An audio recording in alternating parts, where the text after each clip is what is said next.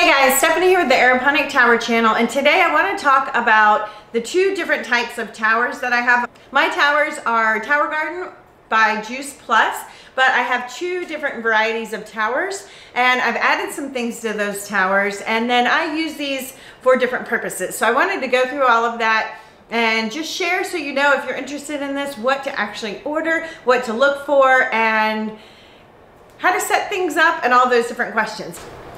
And this is a hard video to make in a tight space like this, so I'm gonna do my best to get some close-up shots for you guys so we can just go through each component and really understand how to maximize growth on your aeroponic tower, um, how to use them, how to use the different sections. My goal is education and helping people to grow food aeroponically. Aeroponics is a form of hydroponics, so you'll hear me interchange those quite a bit. And these allow me to grow food year round. It's been amazing what I've been able to do with these towers. I am very ready for spring and I'm very ready to get them out of this garage. I'm in a garage right now, actually, that I keep at a temperature of 62 degrees. I don't go above 62. If I did, I could grow more types of vegetables in the winter. Uh, just for cost purposes, I am satisfied with the things I can grow at that temperature. But as soon as spring comes, these will go outside and they will stay outside until next winter, except there is one of these towers used to grow greens in the summer and I move it inside our house and it's designed to be easy to move and so I'm going to talk about all of those things. So the goal being that I can grow things like cilantro in the dead of the summer where cilantro would bolt really quickly outside in a hot garden. Um, lettuce, I can still grow cabbages, collards, all of those cold season crops can be grown inside in the dead of the summer, while my other towers are outside growing the zucchinis and the squash and the winter squash and the peppers and tomatoes and eggplants and all the other things we like to eat. Okay, this tower here, this is called the home unit. And when you purchase this tower, you can purchase it with lights or without.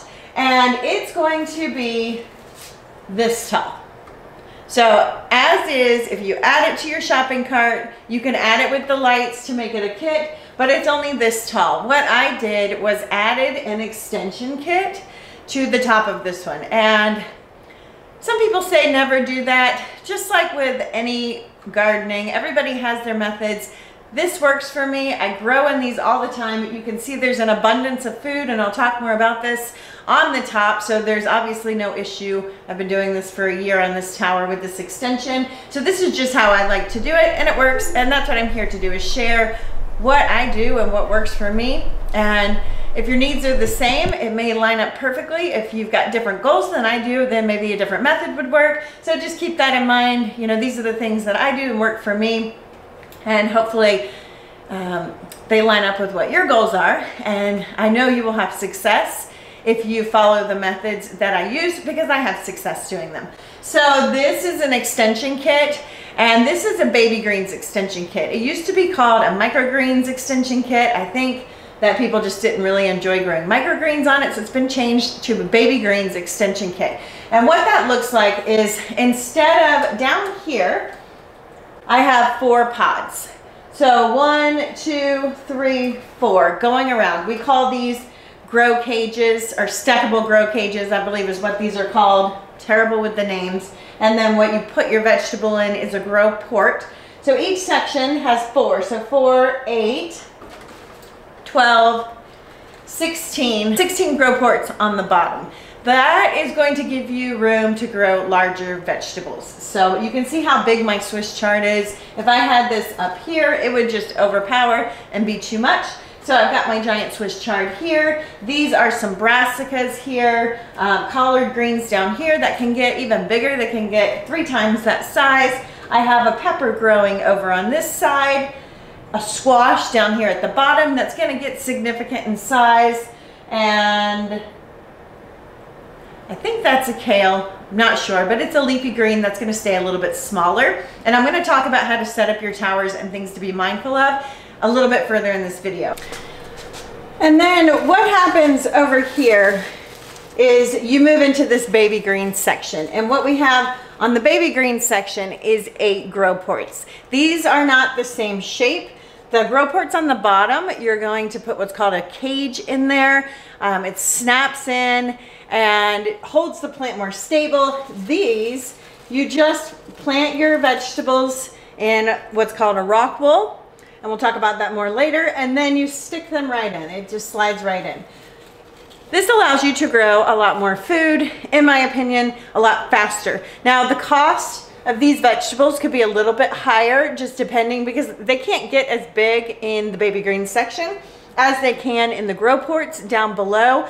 But I'm talking like five cents, 10 cents at the most. And with food inflation so high, I'm trying to maximize the amount of food I can grow, the variety of food I can grow.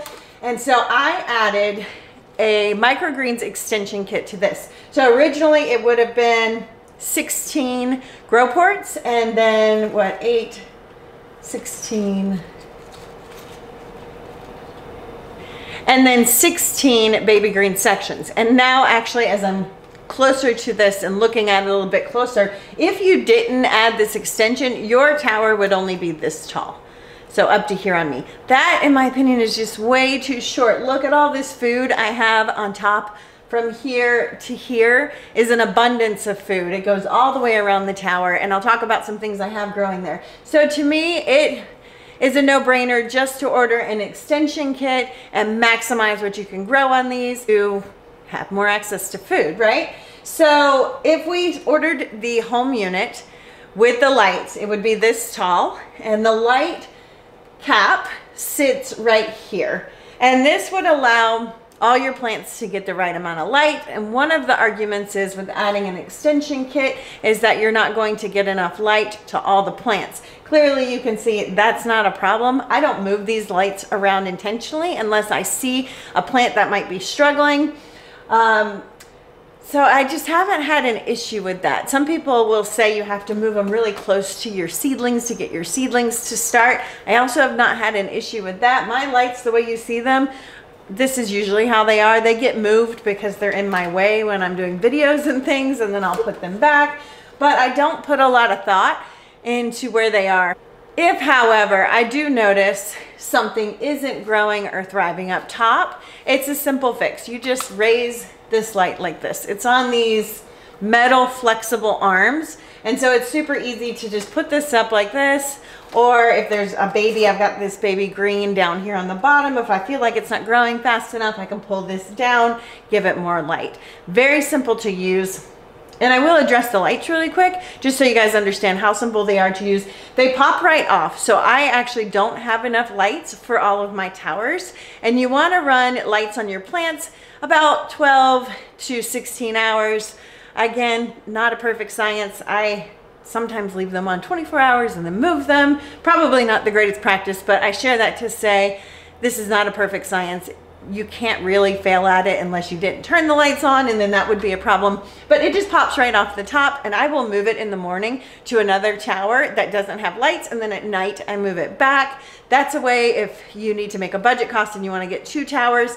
I just decided to do that because I wanted to make sure I could grow a lot of food and I couldn't afford to get both lights at the time. This light is also on an automatic timer so I don't have to worry about it. It just has these little ridges and you set the time to how many hours you want it to be on and what time of day you want it to be on and it automatically does everything it needs to do. These are LED lights so they're very energy efficient and just to give you guys a cost, of power, because I know that's a common question, um, to run a tower, and this is going to depend on where you live, obviously, and the cost of electricity, but to run a tower with the lights is about $16 a month. So I eat that in a few days off my tower of things I would have bought at the grocery store, $16 worth of greens, just because we eat off of these all the time. So to me, that's a no-brainer. If you take the lights off and move your tower outside where it's getting natural sunlight, that cost goes down significantly because all that's running in these systems is a small pump and it doesn't take much. It's like a fountain pump or a fish tank pump and it's coming on and off. It's not running full time. You can hear there's no sound in the background. It turns on at a certain time and then turns off. I'll talk about that in a few minutes as well, like how that timer works and what you want to set it to. But when these are outside and they have natural sunlight, your cost to grow food is like $6 a month in power. Again, depends on your power costs, but very, very inexpensive. So this is the home unit and this holds 13 gallons of water. So that would be the biggest significant difference between the two towers. The one on this side is a 20 gallon tank and I'll get to that one next because I want to stick with just covering everything I can think of on this one. It's a 13 gallon tank and it's on wheels and it can roll around. So if I need to look at the other side, I can just flip it around like this. Oh, my wire's smushing some of my plants. Okay, there we go. The wire was smushing some of the plants, but I can just easily turn this around. It's on wheels. That makes it helpful because this is called the home unit because most people like to keep this one inside their home. It's the one that I put inside our home in the summer to grow lettuce and any cold season crops. I like to have access to cilantro 12 months out of the year. That is nearly impossible in most growing zones because it's just super sensitive to heat and it likes to bolt, which means goes to seed really quickly. In my tower gardens, it doesn't do that. I can have cilantro year round as long as I move the tower inside when it starts to get warm. Same as lettuce. Lettuce grown outside in the heat of the summer. First off, it starts to not grow at all. It doesn't like that hot, humid weather, but it can also get really bitter. Um, arugula, same thing. Any of those greens, kale, they start to get bitter when they are exposed to extreme heat and they do really well and taste really sweet and aromatic, especially kale and arugula when they are kept in a cooler temperature. So this is the tower you would want if you want to grow food indoors all year or if you want to grow food indoors sometime of the year. And you can hear one of the towers just kicked on, so I'm gonna turn that off. But what it's doing is it's running a pump, and the pump is in the basin with the water, and it's pushing the water through a central pump line all the way to the top. And then it fills up a little basin, we call this the shower cap on the top, and then it drips down into the tube where the roots of the plants are. And the pump, when you have it indoors, it has a timer on it. They all come with an automatic timer, so you don't have to worry about anything. These kits come with everything except for a good seedling startup setup, and I'll talk about that too in a minute. So all you have to do is plug it in and set the lights to what you want them on and set the timer. The timer is as simple as hitting a button. You choose zero if your tower is outside, and you choose, some call it an I, I think it's a one, I don't know it's probably an I for indoors, but either way, one for growing indoors. So I went ahead and turned that off so it's not too distracting. But that gives you an idea of how simple the pump is. You literally just choose zero or one based on where you're growing and it's automatic. Everything is super easy. It's the reason I chose these. I did not want to have to make my own, invent some kind of system, fuss with designing. I just didn't want to do it. A lot of people make them from scratch. These are tried and true. They've been around for many years. I used to have one in Florida actually, so I was familiar with them and they grow, they work. They grow an enormous amount of food very easily. So with the home unit, just to recap, this is the one you wanna use indoors in the summer to grow leafy greens. This one is actually designed to be a little bit better for smaller to medium sized plants. You can get a cage that goes all the way to the top. It'll go to the top of the um, true size of these without the extension, but you can add an extension to that too if you bought two cages to make it a little taller. And what a cage will do is just support things like peas, green beans, um, bell peppers, eggplant. You can grow tomatoes on this. I have a video I'm gonna link below about particular seeds that you would want to get if you were gonna grow, especially on a home unit, and they're just dwarf varieties. You would wanna grow a small tomato plant, and peppers are all about the same. Cucumbers, you can get container sized cucumbers. You can get container sized peas instead of huge trellising peas. Same with cucumbers. So you can grow those things on a home tower. You just wanna be mindful of the size. If you were to put a standard sized tomato in this, especially one that was indeterminate, meaning it just continues to grow, it would take over so much stuff and just be a total hot mess in your house. So if we want to manage our space well, Check out that video below. It talks a lot about different seed varieties to give you ideas. So you can grow peppers in here. I have collard greens. Uh, this is a brassica. I think it's cauliflower, not sure. I've got my Swiss chard. I did put a squash on the bottom over there and that will trellis over the side. So you have a lot of options with the home unit. It's just better for medium and smaller plants. So this collard green can get massive. Collard greens can be huge. I'm not gonna let it get that huge. I eat off of it frequently. I use it for wraps. I like the leaves to be a little bit smaller. So it's gonna stay smaller and eventually I'm gonna eat off of it so much that it stresses the plant and it's gonna wanna flower and go to bolt and I'll harvest the whole thing. I always juice the extra parts. So those are some ideas for using your home tower. On the top part, I made a video on things you can grow up here. And I do things way different than others when it comes to using my baby green section. I use it as a nursery for one. So if I have a Swiss chard that is really small, I can keep it up here in the baby green section. And then at some point it's gonna get large and I'm gonna wanna move it out and move it to a grow port. If I want it to get that big, I can just continue to eat, eat off of it and force it to stay small by keeping it up here. If I like um, baby leaves of Swiss chard. And I have a whole video on Swiss chard on when you ultimately want to harvest it and things like that that I'll link below too. This one I wanted to get big because I'm juicing these and it just is easier to juice a couple of large leaves versus a bunch of baby tiny greens. But you can use it as a nursery. So if you have a cabbage and you don't have a grow port ready because you're growing something else, you can put your cabbage up here and let it get you know, this size or so. And then when you free up a spot and one of your grow ports, you harvest something that's ready to be eaten down there, you can move it to that section. That helps you to have a faster turnover of food and to always be growing food, which is my goal, to always have access to food and to make sure this is a constant flowing system. I know I keep referencing other videos, but I will also put a link to a video where I talk about that and how to, the formula for how to start seeds so that you never end up in a situation where you ate everything or everything just kind of aged and it was time to clean it out and now you have nothing to put in. My towers always have something going in them at all times. You can see here, there are new starts. So tiny little babies just getting started. This is a kale. And then I have things like this arugula that's ready to be eaten. And I'm gonna harvest this and make a meal out of this. I've actually got three of them that I wanna harvest for our dinner later tonight. So that's what I do on my baby greens section. I like to do things like arugula. Arugula is a plant that you don't want to cut and come again. So cut and come is when you would cut this off, leave about an inch and it will grow back. I rarely do that with things. I will take a leaf like this one and leave the plant and go juice this. But rarely do I cut the entire thing off and let it grow back. I have just found it's slow to reproduce and it's faster if I already have seeds going and I can just plop in another baby plant and that plant will turn into this a lot faster than this will regrow itself.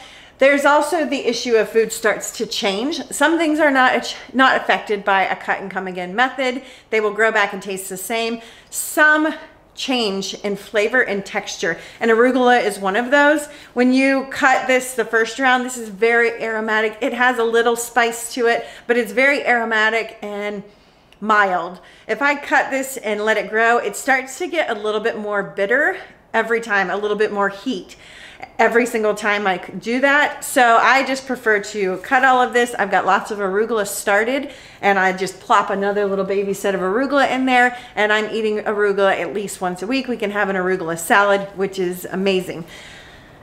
I also talk in my seed video that's linked below how to grow greens like this. You don't want to buy seed packets if you're going to grow arugula like this to cut and then throw away the whole thing. If you just wanted one arugula plant every month or so, you can buy a seed packet. But because I'm doing such a fast turnaround of arugula, I buy sprouting seeds and they're not even a quarter of the cost. They're less than that. I can buy a pound of arugula seeds. I think I paid 14 or $15 versus a packet of arugula seeds can be as much as three or $4. So if you're going to be doing something like this where you're harvesting it quite often and starting over and over and over, then definitely invest in sprouting seeds for those things. All right, and just to give you some ideas for growing on your home unit, and then we'll switch over to the next tower. I think I covered everything on this one. 13 gallons. This is a tower that if you were to have it outside, you're going to have to fill the tank a little bit more frequently than the, the Flex next to me, which is a 20 gallon tank. And so that's something to be mindful of. If you have this inside and you were to leave town, 13 gallons is gonna be totally fine. Even with a mature set like this, I wouldn't worry about leaving this tower for a week. I would just fill it to the top and it'd be totally fine. Outside, you can lose a lot of water for evaporation. And I did leave one of these outside for 10 days and it, I missed it by like two days. By the time I got home, was rock wool had a tiny bit of moisture, but the plants were completely gone. So I missed the mark by like two days keeping it outside. So be mindful of that if you travel um, a bigger tank might be a better option because you can easily set these up and leave them and not have to worry about them or worry about your plants except for pests you know pest problem that you don't catch in time may be an issue. But as far as water and as far as them having everything they need you don't have to do anything. It's all automatic. And so as long as you have enough water to withstand the amount of time you're going to be gone you're totally fine. So on this tower I have 64 grow spots 16 of them normal size grow ports and the rest are baby greens. That's a lot of space to be growing food. I have bok choy on here. I have mustards. I keep my cilantro growing in the baby greens section. It does great and we eat it fast enough that it doesn't get overwhelming to the space. I have baby kale, arugula, like I mentioned. I like to grow, this is fenugreek. This is in the nursery. So I am going to move this at some point when it gets too big. Maybe, um, it's the first time I've grown fenugreek on the tower. We'll see, you can kind of see it's draping through. So it might be fine to stay in there indefinitely and just have it kind of, I could shape this to put the lettuce in front of it and just weave it into things. So we'll see, but that's fenugreek. I like to grow the baby romaine in here. It does really well in that section and typically has enough space to get to full size. A baby romaine is about this big, fully grown with a tight head. So that's plenty of space for that. There's some water spinach, tatsoi. You can do tatsoi, bok choy, um, pak choy. I think is it pak choy, bok choy, Anyway, I believe tatsoi and pak choy are the smaller varieties. If you wanted to get into bok choy, you can keep it. I actually have someone here. It gets bigger and we just eat it when it gets to the right size or it's taking up too much space. But you could also put those in the grow port if you feel like it's too big and you want it to get, if you want to grow one to full size. So this is all the bok choy. I did three or four seeds in each one of these because I plan to eat it at this size, not let it get huge. There are some more mustard green mixes up here. This looks like celery or parsley. Celery, you will want to eventually move. If this is celery, I'll need to move it to a different tower because it will get too big for this spot. Parsley though, you can keep small. You can harvest it when it gets bushy and then just start over, or you can move it to another grow port and let it get even bigger so many options with the home tower using a baby greens extension kit to grow an enormous amount of food. On this side, let's just take a look. I just want to give you guys ideas on things to grow. We've got more tatsoi, bok choy, baby greens. Um, these, I'll do the same thing as I talked about with the arugula. I will chop this off in one swoop and make it part of our dinner and then start over. Probably do that soon. I have an empty grow port. This is what the empty grow ports look like here. Basil, basil does amazing on an aeroponic tower. Basil can be grown in the baby green section if you want to plant a lot of them, but basil is a little bit harder to start for me. So I grow those in a regular size grow port and let them get pretty big. That is it for the home unit. Now let's talk about the other one, which is called the Flex. This is actually really hard to film because these are so tall, they don't want to fit into my camera lens. So I thought I'd come lower and we'll just talk about the basins first. So this is the 20 gallon. This is called the Flex tower garden. This one was the home tower garden. This one's 13 gallon tank. This one is a 20 gallon tank. If you wanna grow winter squash, zucchini, um, eggplants, peppers, tomatoes, bigger vegetables, so medium size to bigger, then you want to get a flex unit. And I will talk about how you can also add a baby green section to this one in a little bit. So both towers have just this little cover and inside is where the water is and the nutrients. Uh, on the nutrients, it will tell you exactly what to add for the 20 gallon and what to add for the 13 gallon. So it's a no brainer. The nutrients are also super simple. You have a B and an A. You add the same amount of each. And then after a couple hours, you test your water. These come with a pH kit so you can test the water. And then if your pH was too low, it'll have a pH plus and you can add a little bit of this, which is the base.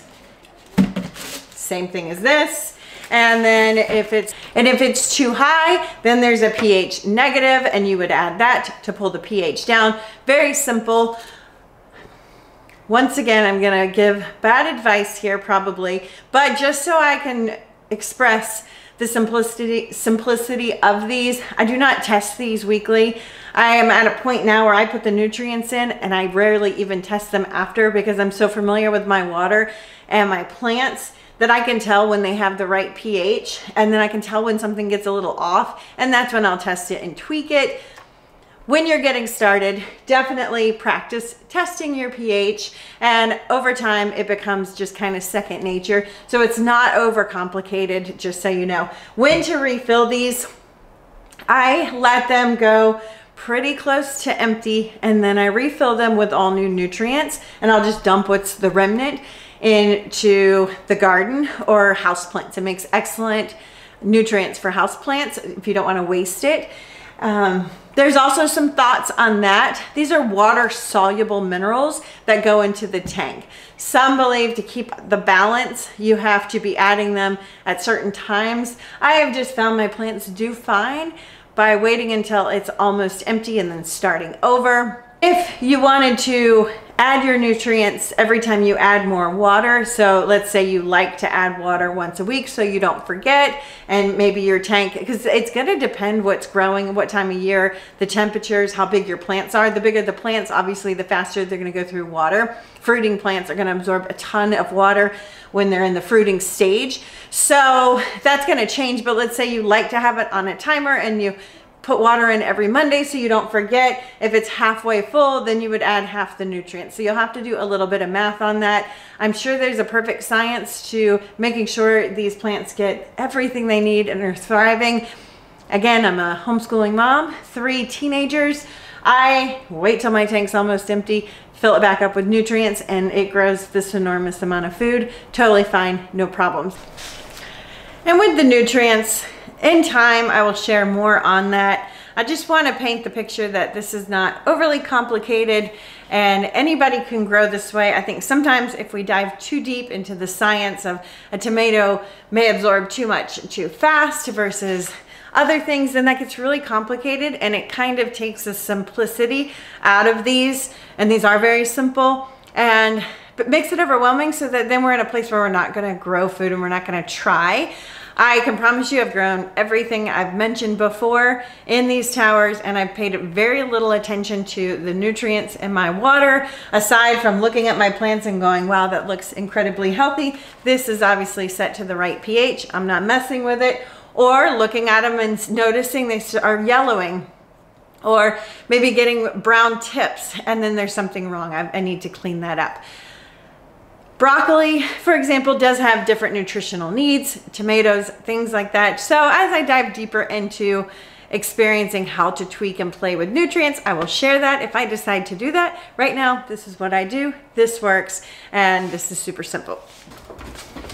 So with the flex unit, this one does not turn. It's not on wheels. You can get a wheelie cart for it. It's like a $100, I think. I just don't need it. These slide across my concrete floors really easily because I will take them to the other side of the room and open the garage doors and let them get exposed to natural sunlight as the seasons change. And on that note, if this is in your house all winter and you wanna move it outdoors in the spring, you want to start to expose it to natural light slowly. If you take it out and put it in the dead heat of the sun after it's been inside all winter, oh my gosh, there's a critter running in the garage. Ah! Okay. Sorry about that. If you were to take this outside, expose it into the dead heat, kill everything. So you need to expose it to a little bit of light, just like a gardening seeds, when you start seedlings inside and you take them out, you have to do what's called hardening them off. We need to do the same with our towers. So just be mindful of that if you wanna transition these inside and out. And this one, when you purchase it, It's called the Flex and it's called the Flex because it's flexible on what you can do with it and what you can grow in it. You can add extensions to this one as well and I highly recommend it because this one is actually even shorter than this one when you get it. And to me, this is just way too short. On the Flex Tower, it comes with four, four, it comes with 24 grow ports. So right to here is how tall my tower would be. And I would be missing these eight plants that I'm growing in my extension kit. I tell everyone, especially on a flex, to just go ahead and get the extension kit. That's eight more plants you get to grow, which just maximizes the amount of food you're growing um, so this is an extension kit with the grow ports. You can put a baby greens extension kit on this one as well. Baby greens kit is a little bit taller. I have that on some of my other flex towers. It just depends what your goals are. If you wanna grow a lot of these smaller greens that you're gonna go through really quickly, then definitely add it. If you wanted to grow larger plants, medium to larger size plants on a flex full-time, then you would just want to add the extension kit with the regular grow ports. So things you can grow in the flex unit. I grow my celery on the top row of a flex unit. The celery does amazing. It's tall and bushy and it just does brilliant growing up in that space. It doesn't need a whole lot of light when it gets higher. So mine do fine and if they do feel like they're not getting enough light, again, I can just raise this up. But I keep celery on the top parts of these. Um, you can grow your brassicas, this is cauliflower, your peppers, your tomatoes, cucumbers, peas, eggplant, winter squash, summer squash, all of those things. This is the tower. So medium to large, this is the one you want to use. With any kind of winter squash or if you want to grow melons, watermelons, cantaloupe, things like that. Um, spaghetti squash, I love to grow spaghetti squash on my towers. They all do great. It's just a matter of managing those plants because they're huge, big vining plants. So if you want to do that, some people put these outside on rocks, like they'll rock an area and they'll let it grow on that. And so when those vines start to trellis, they can go on the rocks and they're not exposed to a lot of water or dirt where there's gonna be pests. So that's an idea. You can put a trellis behind this. That's something I'm gonna be doing this year. So look out for those videos if you want trellis ideas. But I'm gonna put trellises almost like a fence around my towers. And on the back side of my towers, where that fence side is, I'm gonna grow the watermelons and the cantaloupe and the spaghetti squash and all of those things that need a lot of space to vine. And they will be busy, you know, growing up a trellis behind these systems. And then on the sides and on the front, I can focus on other things like Swiss chard, broccoli, cauliflower, eggplant, tomatoes, and all those things. So just some ideas to share with you guys on what you can grow and different ways to set them up. The only difference with the flex system versus the home system is that it's a larger tank. You have to buy wheels if you want it on wheels and that's it. The lights are the same. If you want to buy a light unit for it, it's the exact same one. These are actually plugged into the same timer, so they're running on the same timer. There is no difference really other than choosing which one meets the needs of what you want to grow. You want to grow inside and you don't mind hauling something that's a little bit heavier, you can go with the Flex. If you want it to be super easy, then definitely stick with the home unit for that. These are not heavy. I take them outside all the time to wash them off when we have warm days and just to let them be exposed to a little bit of natural light. And I'll show you guys how easy it is to just pop the top on these. Oh, and one more thing. This one also has a cage that you can buy. And the cage is what you're going to need if you want to grow peppers, eggplants, tomatoes, cucumbers, things like that. Um, even with a trellising system in the back, if you wanted to grow peppers and tomatoes on the front and then grow vining cucumbers and squash and melons on the back that go on the trellis, you would still want the cage because pepper plants are gonna get heavy and want to fall forward and we need to stabilize those plants. So that is what the cage is used for. It's used to just create a wall so that those heavier plants, as they start to produce fruit, they're not trying to lean forward and then snapping at the base here. Because we are growing vertical, we do need to be mindful of how we support those so they don't just flop over and break on us. So this one does have a cage and I highly recommend it if you wanna grow anything in the medium vegetable size fruiting family. To take the top off, they have screws where you can screw the tops in. I never add the screws because I take my tops off quite frequently and take them outside and hose them off just to clean them up. Um, as far as cleaning, that's a common topic. Some people will take them apart, soak them in citric acid, and it takes everything off and makes them like brand new. I never do that because I always have, like I mentioned, baby greens and greens in the middle section of growing and things ready to harvest. So I cannot take it apart and let it sit in a solution. These are never not working for me. So I have to come up with other ways to clean them. I do that by carrying the top outside and I will just hose carefully in between. I can blast the hose on some of these middle parts that might get a little bit of sediment buildup without destroying my leaves and then lightly sprayed the leaves off and I use a microfiber cloth. Not a big deal. I do that pretty frequently because I never take them apart and that just helps to keep them nice and tidy for me. And like any garden, they're still mess. I'm not gonna tell you these are you know, clean and beautiful all the time. They are clean and beautiful most of the time, but there are times where it gets, where it's time to give them a nice cleanup. And, you know, you can see there's a little browning here, but again, blasting it with the hose without hitting your plants. Um, gets all that sediment off, a little microfiber. You can use magic eraser if you've got a particular spot that's not wanting to come clean. Not a big deal. You can also take every single plant out of this, clean it, put it back together and put all the plants back in. That works as well. Just make sure your roots aren't in, exposed to the sun. Keep them in a nice cool place and make sure they stay moist. I do that as well. When I clean them sometimes if they get to a point where I feel like they really need a good scrubbing, that's an option as well. So you can see here, I can pick this up. It's not a big deal. This actually has the lights on and I typically would not pick them up. There we go.